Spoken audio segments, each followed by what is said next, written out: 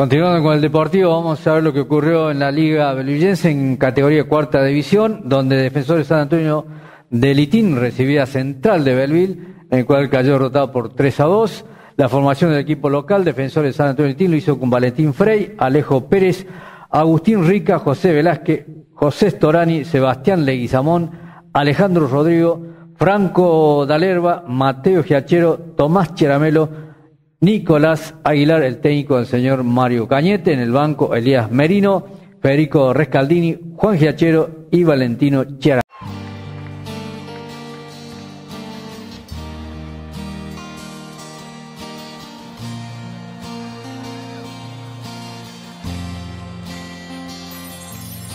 Somos lo que nunca fuimos, lo que nos faltaba, lo que no recuerdo de esa madrugada en que nos prometimos por primera vez.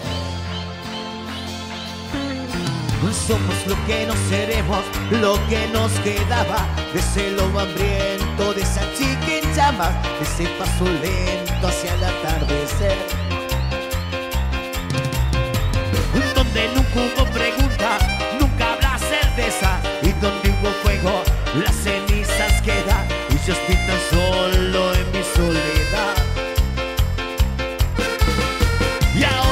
Único que quiero es solo una